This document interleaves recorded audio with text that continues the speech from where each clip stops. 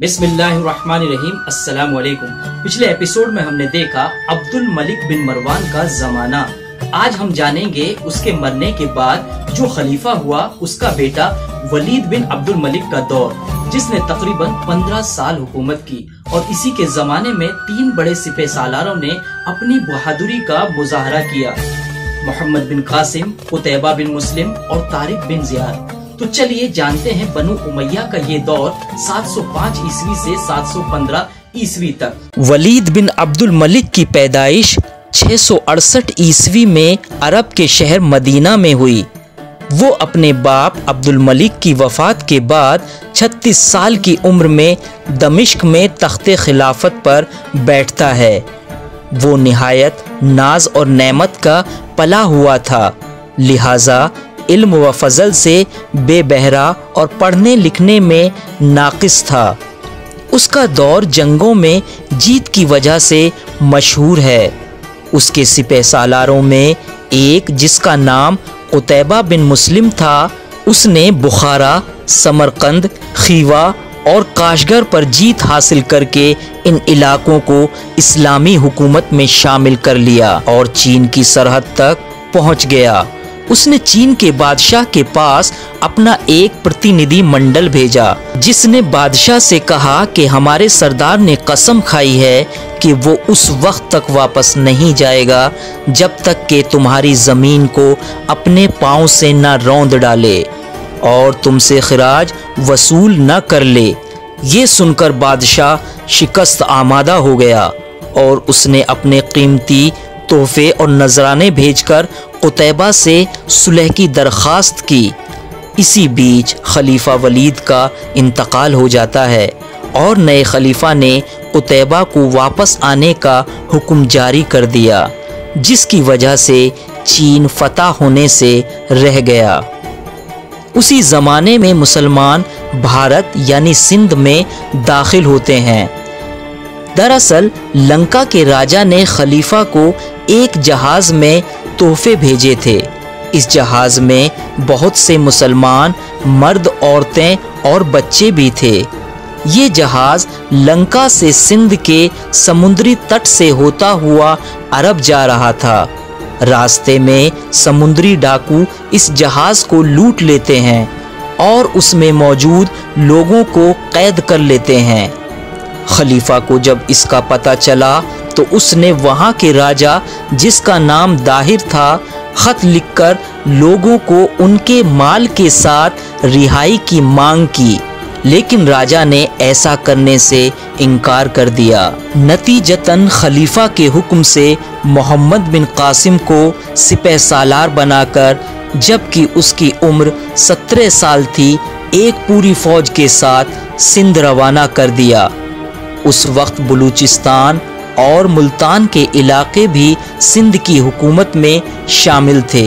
ये बुद्धिमान सिपह सालार बलूचिस्तान के रास्ते से आया और सबसे पहले देबल की बंदरगाह को फतेह किया, जो कि कराची शहर के पास थी और यहाँ से तमाम कैदियों को रिहा करा लिया, जिन्हें डाकुओं ने गिरफ़्तार किया था।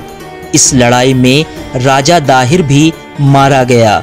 ये एक बड़ी जंग थी, जिसके बाद भारत का ये पश्चिमी इलाका, जो कि अब पाकिस्तान बन चुका है, आइंदा इस्लामी दुनिया का हिस्सा बन गया। मोहम्मद बिन कासिम पूरा सिंध और मुल्तान फतह करने के बाद अब वो उत्तर भारत की ओर बढ़ना चाहता था, जहाँ कन्नौज के राजा की हुकूमत थी। मगर इसी बीच खलीफा वलीद की मौत हो जाती है। और नए खलीफा मोहम्मद बिन कासिम को वापस आने का हुक्म जारी कर देता है, जिसकी वजह से चीन की तरह भारत का ये उत्तरी हिस्सा फतेह होने से रह जाता है। इसी दौर में तीसरी चढ़ाई पश्चिम में स्पेन और पुर्तगाल पर की गई। उस जमाने में इन दोनों देशों को अंदलूस कहा जाता था, जहाँ एक ईसाई बादशाह राड्रिक हुकूमत करता था। दरअसल अंदलूस यानी स्पेन के एक ईसाई सरदार ने बादशाह राड्रिक के जुल्मों के खिलाफ उत्तरी अफ्रीका के गवर्नर मूसा बिन नसीर से मदद मांगी। मूसा ने खलीफा वलीद से इजाज़त लेने के बाद अपने एक बर्बर गुलाम तारिक बिन जियाद को एक फौज के साथ अंदलूस की तरफ़ भेज दिया। वहाँ तारिक बिन जियाद ने अपनी बारह हज़ार फौज के साथ रॉड्रिक की एक लाख फौज को शिकस्त दी और इस लड़ाई में रॉड्रिक भी मारा जाता है। इसके बाद मूसा बिन नसीर भी अंदलूस आ जाता है और थोड़े ही समय में ये दोनों न केवल पूरा अंदलूस फतेह कर लेते हैं, बल्कि वो दोनों पेरेनीस पहाड़ को पार करके फ्रांस की सरहद में दाखिल हो जाते हैं।